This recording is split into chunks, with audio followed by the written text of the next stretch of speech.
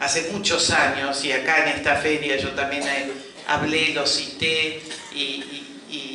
está en sus este, psicografías y en sus eh, dibujos y, y premoniciones, de que nuestro destino como argentinos no iba a ser nunca ser un país organizado ni serio, sino que Argentina samaritana recibirá el mundo ardido en llamas. Argentina será el crisol de una nueva humanidad. Argentina recibirá con sus campos de oro y trigo a toda la gente que vendrá de la hambruna del mundo.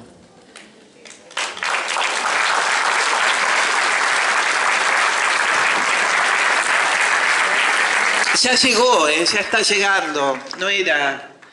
eh, una profecía que no íbamos a ver los que somos contemporáneos en esta vida. Lo que pasa que a veces esas utopías o esos visionarios o esos profetas que se subestiman simplemente por ser nuestros, que es otro gran karma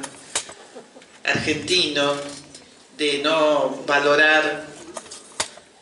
a quienes tenemos cerca, y lo digo cerca desde, desde el abuelo o la abuela de la cual habla Federico, que está en el fondo de la casa, y muchos lo tienen bien tratado y muchos maltratados, porque pareciera que ya la edad también es un pecado y que eh, la gente es descartable y sin embargo se pagan fortunas para hacer viajes o tours para ir a ver a los sabios o a los monjes en el Tíbet, en el Himalaya o a los chamanes en todas las tierras mayas o incas, ¿no es cierto? Y tenemos esa disociación de que lo que está cerca, de lo que es nuestro, de lo que de lo cual aprendemos, de lo, cotidiano, nada menos ni nada más la cultura. La cultura viene justamente de nuestros ancestros. Eh, pareciera que no, eso no, hay que seguir mirando más allá. Y el más allá ya está en el más acá. El más allá se convirtió en esta realidad, en esta alquimia en la cual todos sentimos que algo se está moviendo en el sistema, y digo en el sistema desde el universo,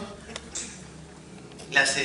estrellas, las nuevas galaxias que se descubren y planetas, a pesar de, muchos prejuicios que hay al respecto, ¿no? porque pareciera que lo único que, puede estar en movimiento son los aparatitos de los cuales ahora todo el mundo está este, adictos, ¿no? las tablets y los, y los y las computadoritas y todos los 4G y todo eso. Entonces, claro, nos hemos alejado de lo cósmico y, al no observar esos fenómenos de, de, los ciclos de la naturaleza que siempre nos han regido desde el origen y antes del origen, de saber que esto era un planeta, quizás hemos perdido un poco el rumbo, ese rumbo en el cual ahora estamos viendo de qué se trata y cómo nos acomodamos y cómo nos colocamos en este Tao camino, como dicen los orientales, eh, y atravesarlo con, con una integridad holística de coherencia entre mente, cuerpo y alma, es lo más complicado pareciera en este momento. Y lo más difícil por la alienación que hay, porque estamos bombardeados de un spam tóxico que es muy difícil que uno no deje que entre en tu vida y en, tu, en tu energía cotidiana. Y para eso se requiere tener vida interior y una vida en la cual uno también este, sepa cuáles son sus dioses, a quien ofrenda. Yo quedé realmente muy, también muy emocionada con tu charla, Federico, porque no te lo iba a preguntar sentada allá, sino desde acá, porque me parece que eh, nos toca a todos los que estamos. Eh, tu libro, eh, tu nuevo libro, que por supuesto voy a comprar, porque los escritores tenemos que comprarnos los libros, y aunque mucha gente no sepa, ustedes, que acá hay dos privilegiados autores que somos bestsellers en este país, eso es un privilegio único, pero a lo mejor ustedes no saben también que los escritores, en general, de nuestros libros, ganamos el 10% de derechos de autor, de lo que vale ese libro. A veces hay una fantasía. Y el resto es para el editor y para los que lo venden. Entonces, a veces uno tiene una fantasía increíble, pero la fantasía entre estos dos escritores que hoy estamos acá es que tenemos el privilegio de vivir de nuestros libros. Un gran privilegio. Entonces tenemos a lo mejor eh, mucha más obligación de mejorar cada libro y cada entrega con ustedes, con, esta energía que, nos dan y que recibimos, de constante y continua inspiración y desearles a muchísimos escritores de los que están acá en la feria, que han venido, que conozco, poetas increíbles que, que en varios años se acercaron, que lo hagan igual, aunque no lleguen nunca a ser editados. Que lo impriman, que lo pasen, que canten, que, que lo transmitan, que lo hacen además, porque me consta. Pero decía que me impresionó y me llegó mucho tu, manera de contar cómo escribiste tu libro, porque es una gran constelación familiar.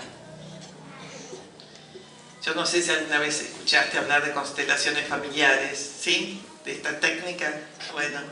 y yo hablo mucho, inclusive ayer hablé en este programa de radio, de algo que creo que es muy importante que desde acá salga un poco la idea de este encuentro, en el cual hay un señor alemán, justamente, que se llama Bert Hellinger, que tiene 90 años, que estuvo en, Buenos Aires hace menos de un mes, hace tres semanas, eh, con su mujer, Sofía, que, tiene 70, eh, haciendo un seminario de tres días en el Teatro Coliseo, y este señor creó una técnica porque es antropólogo, filósofo, médico, eh, viviendo con las tribus en África durante 20 años. Y empezó a ver qué pasaba con los traumas y con las familias y con todo dentro de esas tribus, con, con las relaciones, digamos, también de incesto, también de padres e hijos eh, y, de, de situaciones en las cuales para determinadas culturas algo es tabú o algo es libertad o algo se vive de distintas maneras. Y fue darse cuenta que el sistema de una familia, lo sistémico,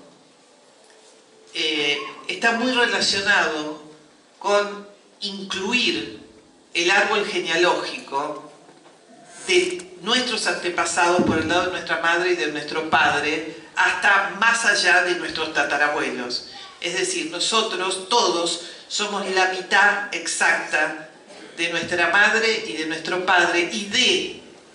sus padres, sus abuelos, sus bisabuelos, sus tatarabuelos, por ambas partes. Y que a partir de esa historia y de todo lo que les pasó a ellos,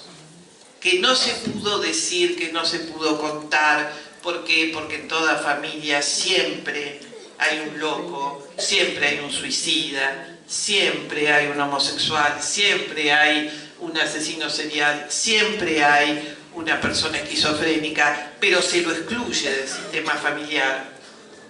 porque hay que taparlo y meterlo en el ropero. Si eso no se integra en las generaciones que siguen, se vuelve a repetir y vuelve a nacer otra persona que ocupa el lugar de esa tía abuela que quizás fue una, qué sé yo, una persona que no sé, para la época era una mojigata una monja porque no tuvo relaciones, porque no se casó, porque era la solterona, pero a su vez se enfermó y todos eh, lo veían mal. Y eso entonces se repite en otra generación y el que era un ladrón como nadie lo quería en la familia, entonces después nace otro ladrón en la familia que trae otros problemas y así como una bola de nieve hasta que uno hace esta técnica que se llama constelaciones, constelar y traer en la memoria familiar, en el alma familiar,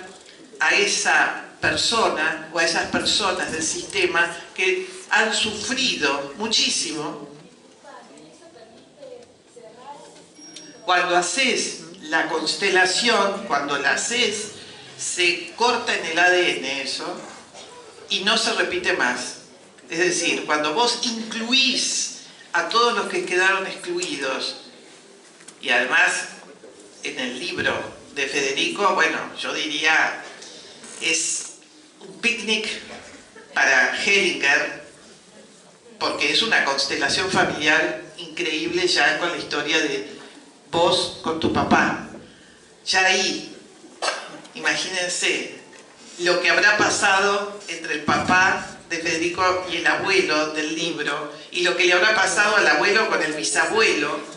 y todo viene de allá atrás. Entonces, cuando uno empieza haciendo esta técnica, porque se anima, porque ahí, se te quemaron los papeles de algo, no te sirve más un, o sea, no es, perdón, no, sin ofender a nadie, no es que no te sirva más un psicólogo, ni te sirva más ir, eh, qué sé yo, a la tarotista, numerólogo, ni Ludovica con las predicciones, no te sirve nada, es porque realmente hay algo que se sigue repitiendo y sigue apareciendo, son como aliens, que uno tiene todo el tiempo y hasta que no los ordenás en el sistema familiar, los incluís eh, se sigue repitiendo todo a través de muchísimas generaciones. Y ni hablar, todos nosotros, argentinos, que somos eh, hijos, nietos de inmigrantes y de gente que ha dejado atrás vidas y han dejado con un dolor increíble por guerras, por separaciones, porque también venían a, hacerse en América sin saber qué los esperaba acá, dejando grandes amores, dejando grandes, a lo mejor matrimonios, dobles vidas. Es decir, nosotros los que estamos acá somos la consecuencia de esa, y, en el mundo lo digo, ¿no? y en el planeta Tierra, pero vamos a hablar un poco más de, de la Argentina, de lo que pasa con nosotros. Es decir, no vamos nunca a las fuentes, a las raíces, al origen de la historia, porque duele mucho, porque lastima, porque la ocultan, porque, porque nos han ocultado, pero no por maldad, no porque, sino porque eso es la historia de la humanidad, no saber la verdad. Y, y comparto lo que decís de los historiadores. Es decir, desde el momento que uno no sabe la verdad de su propia vida, es muy difícil que pueda tener una vida sana e íntegra porque estamos disociados, porque hay algo que, nos falta para completarnos, porque hay siempre alguna secuencia que es como una película que hay que editar y que no está, pero sí está a través de esta técnica donde realmente uno puede eh, sanar no solamente la propia vida, sino la de toda la familia, aunque no sepan que vos estás constelando o haciendo esta búsqueda. Yo he sido parte de, este, esta enseñanza, si quieren llamarlo, porque me interesa como búsqueda personal y por problemas muy serios que tuve con mi familia y he ido a constelar, hace ya siete años que lo hago, hice la formación del primer año, pero me parece el instrumento más práctico y más directo y más revelador que conozco desde que nací, o que por lo menos puedo transmitirles a ustedes. Entonces, es muy importante ordenar eso, y si es a través de la literatura y a través del arte, eso contagia, eso eh, es una luz que se expande. Eh, tu libro seguramente va a sanar, además de fascinar, como escritor que sos, a mucha gente, porque lo que contaste es una constelación familiar. Y yo hablo mucho de esto en este momento en la Argentina porque creo que la raíz de nuestros males es porque la familia está totalmente destruida.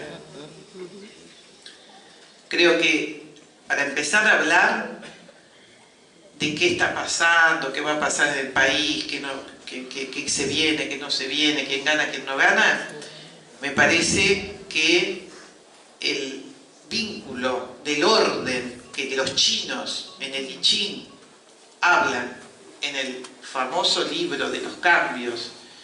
en esos que yo hago las predicciones, y ustedes bien lo saben, hace más de 30 años, basadas en el I Ching, tiene que ver con esas 64 posibilidades humanas, no hay más, que son cíclicas, que van desde el hexagrama 1, la creación hasta el 64, después de la consumación, antes de la consumación del 64 y que tiene que ver con todo lo que vamos atravesando en la vida. Pero el hexagrama 37, que es el clan, la familia, habla de los lugares que ocupan en China inamovibles para que funcione una sociedad. El papá es papá, la mamá es mamá, el hijo mayor es hijo mayor, el hijo o la hija del medio es la del medio, el hijo menor es el hijo menor, y si esos roles se revierten, si por ejemplo el papá, la mamá es viuda, el joven, y entonces el hijo mayor ocupa el lugar del papá, toda esa familia ya se trastoca completamente en su rumbo, en su destino, en su manera de fluir para que las cosas sigan funcionando en los lugares que deben funcionar.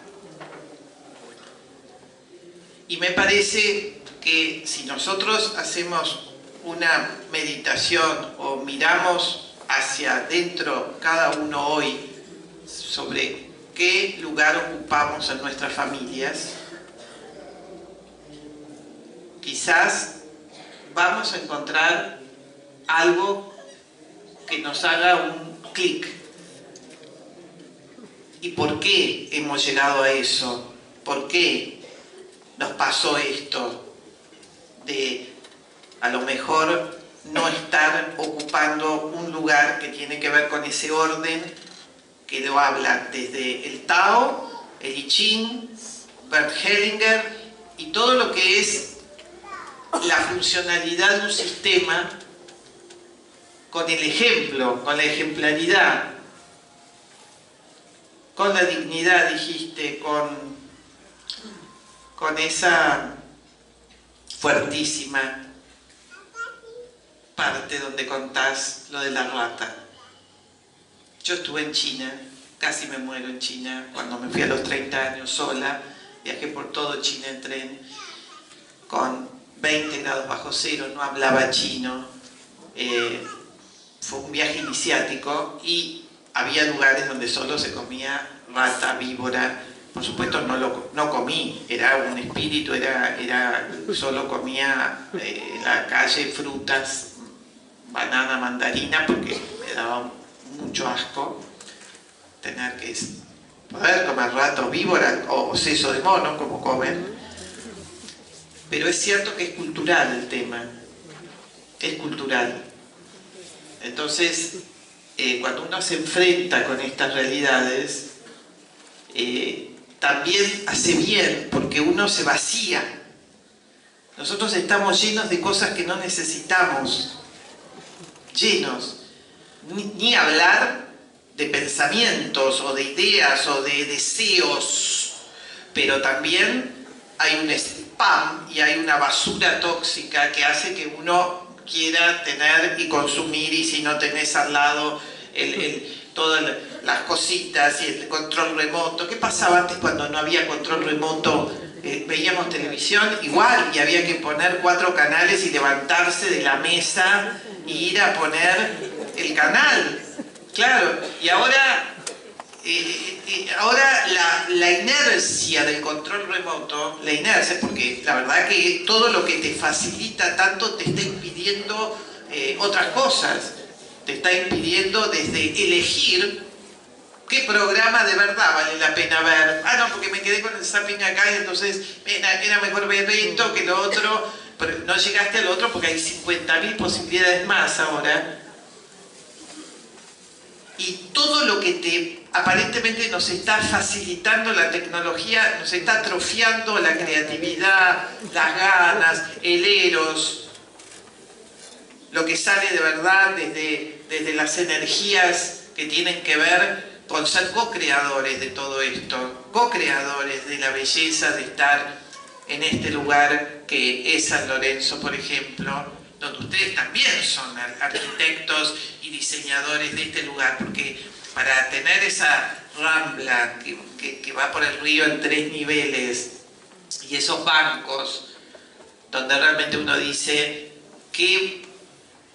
qué buen feng shui tiene esta ciudad, feng shui, qué buena, qué buena energía han hecho para que el que vive acá o el que visita acá se inspire con el lugar y no lo tengas de espaldas, como estamos en Buenos Aires, que es la ciudad hecha a espaldas del río entonces por eso la gente está tan loca y tan mal, porque no tiene la posibilidad de poder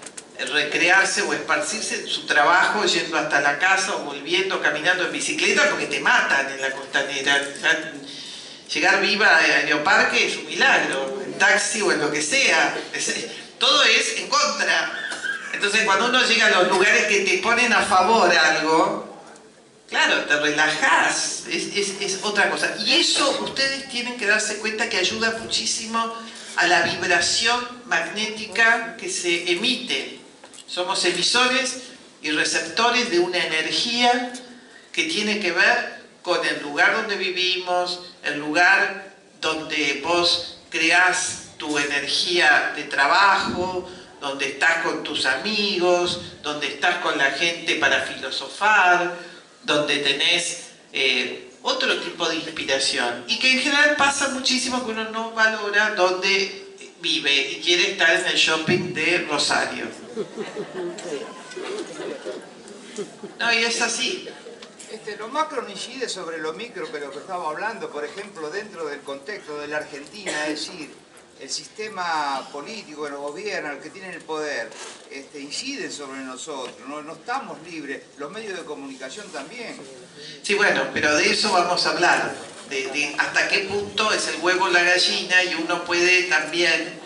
eh, dejar que te influencie todo eso, o también crear tu microclima de, poder también refundarte en un país donde lamentablemente se centralizó todo en el puerto de Buenos Aires, y no por la belleza del puerto, sino porque era el lugar también para afanar en el pasado, en el presente y en el futuro, y que por ahí salga y entre todo. Y cuando hubo una idea de, poner la capital en Vietma, Alfonsín la tuvo para justamente llevarlo a otro lugar de la Argentina, porque la Argentina tiene muchos puntos neurálgicos que son chakras. Nosotros también tenemos chakras dentro del territorio, por eso Córdoba, eh, eh, donde afortunadamente vivimos con Claudio y es ahí en Nono, en, el centro, ¿no? pero es como el Cusco. ¿Pero por qué lo digo como el Cusco? Porque es el centro del país, donde también por ahí eh, fue paso de mulas al Alto Perú, donde fueron las rutas jesuitas, donde de alguna manera la energía que hay en las piedras y hay una, son sierras del segundo plegamiento caledónico, tienen un cuarzo, una mica y una matista que también te acelera los procesos energéticos que tenés, ahí la gente se vuelve totalmente loca donde vivo o guarda de remate. Ahí acelera procesos. No es La gente cree que qué lindo, me dicen dónde vivís, tras la sierra, que es esta belleza de paisaje donde se ven los nonos, este río, es ahí donde, donde vivimos. Eh, claro que es, es, es, fuertísimo, pero es fuerte, no todo el mundo se lo banca los 365 días del año, ¿por qué? Porque la gente quiere llenarse, quiere llenarse de cosas y, y no sentir y tapar el corazón y tapar toda la parte afectiva y lo que va sintiendo, porque eso es lo que quieren en el mundo, convertirnos en eso. ¿No? No es acá solo, nosotros somos punta de lanza de todo, por suerte. Entonces, la Argentina, lo, que, lo bueno que aún tenemos es esta dimensión de tierra, de, de territorios y de lugares, para no estar todos en el mismo lugar, hacinados bajando la calidad de vida como condición humana. Entonces a veces una se pregunta, ¿por qué si hay tanta gente viendo en Capital Federal en malas condiciones, pero pésimas, digo, de calidad de vida, de que ya la gente eh, no tiene eh, superpoblación, eh, la energía no funciona, te cobran cada vez más caro la luz, el, gas, no, no se esparce por el resto del país. ¿Qué, ¿Qué nos pasa a nosotros? ¿Cuál es el miedo? ¿Quién tiene que dar el primer paso? ¿La vocación, la pasión o lo que te dicen dónde tenés que ir a vivir? Para mantenerte ahí esclavo de eso. Entonces, este año de la cabra, que es un año en el cual sí la cabra tiene de bueno que es el signo de los grandes maestros y pensadores, como lo es este, Krishnamurti, eh, Osho, también en nuestro país Pérez Esquivel, donde hay gente que también tiene un sentido humanista y que pone en la balanza, como estamos poniendo inevitablemente en la balanza, en el corazón, lo que estamos viendo de, todo lo que está pasando en Europa, de estas oleadas, de lo que están padeciendo toda, la, cantidad de gente que después de la Segunda Guerra Mundial nunca pasó una cosa de estas características en un mundo que no tendría que pasar si estuviéramos tan bien como humanidad y no estuviéramos privilegiando determinados sectores y valores. Entonces digo, algo está muy mal, pero no acá solamente para deprimirnos y decir nosotros somos los peores, siempre en la Argentina. No, nosotros tenemos todavía la posibilidad de transmutar, de transformarnos, de reinventarnos, de reformular y en un año electoral. O sea que Estamos a punto caramelo de un gran cambio o de seguir como un rebaño sin la oveja madrina, sin la cabra madrina que toca esa campana que solo la escuchan quienes salen de la alienación. Y claro que es difícil, yo entiendo lo que vos decís, pero si vos te vas a meditar 10 minutos por día ahí al Paraná, antes, después de tu trabajo y todo, y tratás de olvidarte de todo lo que te pasa y todos lo hiciéramos, a lo mejor dejan, pasan y entran otras energías que no son las que nosotros queremos eh, y decimos que, que no tienen escapatoria o salida. Es decir, el sistema, que somos todos, somos un tejido, requiere que estemos todos en sintonía y está todo disonante quizás entonces, vos agarrás el diario, vos prendés la tele y yo escucho lo mismo, yo estoy bombardeado, entonces yo no, yo, yo cambio canal o apago la tele porque no me están diciendo nada nuevo en estos últimos nueve meses nadie. Digo de los políticos que se están postulando. Nada nuevo, nada que me, que me inspire, que me dé un tic-tac en el corazón. Eso no quiere decir que uno diga, pero entonces ¿qué se hace? No sé qué se hace, vamos a ver. Pero digo, tampoco quedarnos en que esto es así. Es así porque lo hemos permitido todo el sistema, todo. Y estamos en democracia, entonces ahora no hay que echar culpa, que antes eran eh, gobiernos militares. No, esto es culpa o no culpa de todos. Si nosotros seguimos viendo afuera los problemas, no nos hacemos cargo de lo que nos pasa a nosotros.